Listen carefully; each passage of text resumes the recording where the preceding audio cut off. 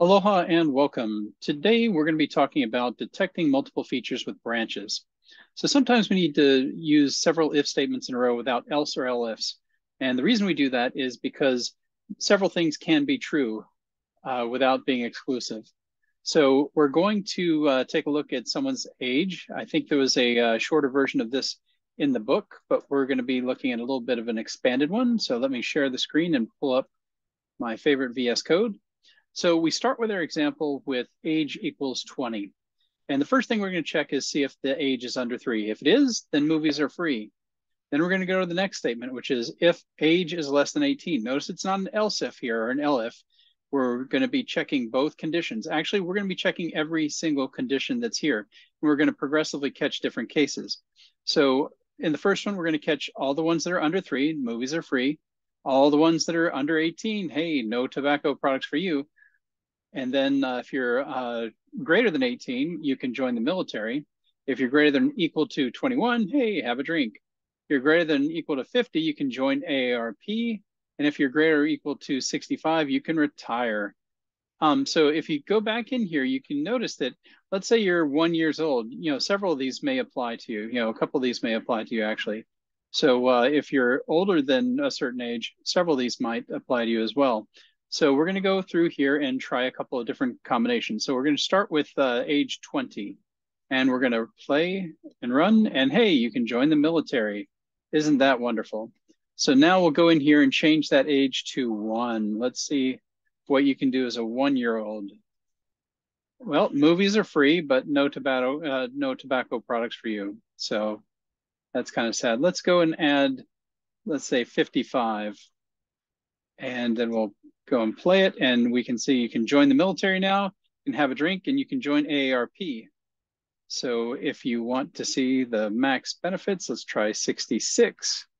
Hit play, and here we go. You can join the military, you can have a drink, you can join AARP, and you can retire. And that's all because up here, we're testing each and every case. We're not doing an else and sending it into different uh, branches. We're just doing a straight out if this, if that, so we're going all the way down to uh, the last one, which is if age is uh, greater than equal to 65. So that's how we're going to do something like that, uh, uh, detecting multiple features with branches. So then if we come down here, I want to uncomment another section of code that I've prepared. I'll go ahead and comment this out so that we don't have that in our way. So you can also nest if else statements. And that's really convenient when you're trying to check for different, uh, many different things. So let's say uh, this is just a totally made up uh, uh thing here. So I've taken age equals 10, favorite color equals red, and no gift at all. The gift equals nothing right here. I'm doing that because we want to initialize that. We're going to be setting it in our if statements. And we need to set it to something initially because what happens if it doesn't meet any of these conditions and it gets out and it tries to print what gift is, then you're going to have a big fat error because it's not going to have gift defined. So we like to define that up here at the beginning. So um, we've gone ahead and defined the age is 10, the favorite color is red, and nothing for gift. So we're saying if the age is less than five, then the and uh, then we're going to go into this next block here. And then we test if the favorite color is red, then we do something else, you know, gift is something else. So if if the age wasn't less than five, we hit down here to the uh, the elif, and then once we enter the elif, we immediately have another if statement with another else. So notice how all of these are nicely indented. Uh, we're going to get to this a little bit later, but uh, when you're doing different, these, these different areas over here uh, after a colon, these are known as code blocks. So code blocks have to have the same indentation within the same code block. If you wanted to have, you know, uh, let's say two or three indents here, and one indent there, you could do that. It's a very bad practice to do that. In general, uh, the rule for this is uh, you want to have four spaces or a tab as your indent. So uh, that's what I always use. I personally use a, a tab. It's just for me easy and uh, kind of lazy. And in VS Code, a tab actually equates to four spaces. As long as you're consistent, it's fine. And it's good to be consistent between these different code blocks because you can always tell at what level something is running. And that's just very convenient. So I've made a, a bunch of different uh, situations here. Like if the age is less than five, the favorite color is red, then hey, we give them a red lollipop. Else, the gift is going to be a blue lollipop. Uh, then you've got, uh, you know, for age under 15, uh, we're getting into more serious stuff. So if it's red, red bicycle, else we're giving a blue bicycle. Less than 21, we're going with a moped. You know, if the color favorite color is red, red moped, else it's blue moped. And let's go ahead and print it out down here and see what we've got. So we're going to go ahead and print out our gift at the end. So we're going to go up here and uh, did what do we set? We're setting it to 10. So theoretically, we should be seeing a red lollipop. Or wait, no, uh, we should be saying a red bicycle. So when we run it, sure enough, we get a red bicycle. Oops. So uh, let me go down here and clear this out.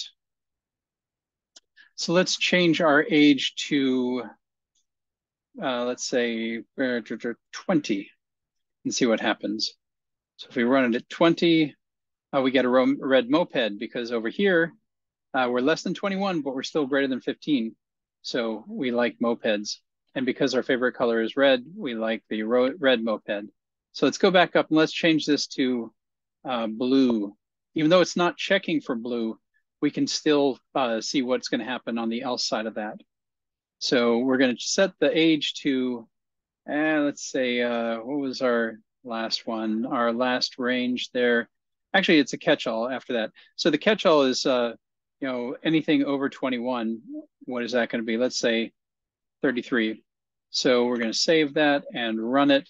And we get a blue Corvette because no longer do we have red as our favorite color. So it's going to go through here. It's going to, uh, is age less than five? Nope. Less than 15? No. Less than 21? Nope. Then it's going to go to this catch-all that we have where it goes in here and says, is the favorite color red? No, it's not. So it's going to go hit else, and else is blue Corvette. We're, uh, we're going to set uh, gift to equal blue Corvette. So then we do a print of gift, and that gives us, as we saw, the uh, blue Corvette right down here.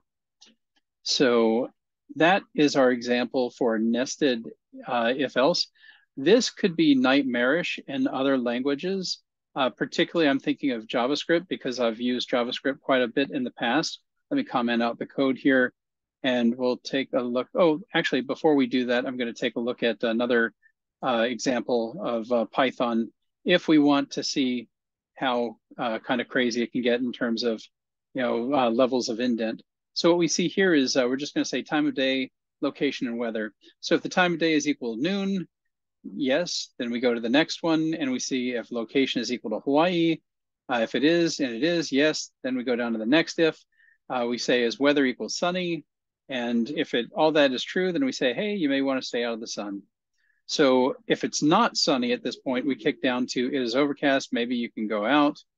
Uh, so if at that point we go back to if it wasn't Hawaii, then we take a look and if it wasn't Hawaii, it says why not bother, you know, why bother going outside if you're not in Hawaii? So then if that part hadn't uh, been true, the Hawaii part, if let's say the time of day hadn't been noon, then we're going to hit the else down here. So you can see that we're we're in our if else. We're just going down one more level. If if it wasn't noon, we'd immediately go down to here and run the too early or late to go out. If it wasn't Hawaii, we'd come down here to the matching else. But notice how everything is nicely in this line and everything is at that indent level. That's what we like. So if you're using VS Code or uh, there's a lot of other editors that will do this for you, but they'll show you uh, kind of uh, where you're at by spacing it properly for you. In Python, a lot of times if I'm doing this, like if I wanted to put in a elif or something here, you can uh, do the elif and you know put in your uh, condition. Let's say I don't know. Um, we don't have anything defined, so I can't really put in another, well, I could say age. I mean, it doesn't make any sense whatsoever. But if I say age equals 10, you know, we could have like an if elif age equals 10 here, and then we can put in some things. But everything is going to be, and it's it's nice because it all lines up in here. And your uh, your editor will often put you right at the space that you should be at. So right here, I'm at four spaces over. And we can go back and say one, two, three, four. But because we're on the third indent here, we're actually, actually, uh, yeah, three, four in, we're gonna be more than that. We're gonna be four, then another four, eight, and then another four. So we're 12 spaces in on this. So every level of the code block here, one, two, three blocks, every level of the uh, the blocks we have is one more indent. So when we're doing four spaces, if we're three down, that's going to be 12 spaces here. So if you're looking here at the time of day, you start off with zero. You're not doing any indents. Like up here, you can see we don't have any indents going on. But the first time you hit a code block, which is signified by a, a series of statements after a colon, then you're going to be uh, indented over. So we're indented over four. Then we've got another co uh, colon here. That means we're going up on a code block. So that co code block is uh, indented another four. So you can get as crazy as you want. You can go down as many levels as you want. You can be testing all kinds of conditions, but then you kind of uh, you have to also unravel you know unravel yourself from that as you're doing the else's. So if you say okay, it wasn't sunny, then we're going to hit this else. If if it wasn't uh, you know Hawaii, then we come down here and hit this else. But luckily, everything is in the same line, so it's very clean and it's very easy to understand. And the next example shows kind of why I like Python compared to uh, the way JavaScript does it. JavaScript um, is more like something like this. We take the same example. JavaScript, they use uh, uh, these uh, curly brackets to denote the start of a block. And the end of it, you know, can, uh, you know, is what uh, tells you where the block ends. But the problem is you can put it anywhere. Space-wise, it can go anywhere. And it often does. Sometimes when you're messing around and you're in you're uh, cutting and pasting, you can you know end up with your parentheses somewhere crazy. And luckily, there are tools that will help you match your parentheses. But it's extremely difficult sometimes if you're in a nested situation, knowing what matches with what. So it's like, okay, these match over here, but then you know, over here, where does this match? Oh, this matches up there. It can get kind of confusing with JavaScript. So luckily, uh, Python is a lot simpler to use because in Python, there's this beautiful indentation that they use, and it just really helps you understand where you are in the code. So if we take a look at that again, you can always tell by the spacing where you are. And if you go off of that, like we'll see in future lessons, you'll get errors. So anyhow, that is it for this lesson. So we will be discussing more about uh, indentation in a further lesson. So stay tuned.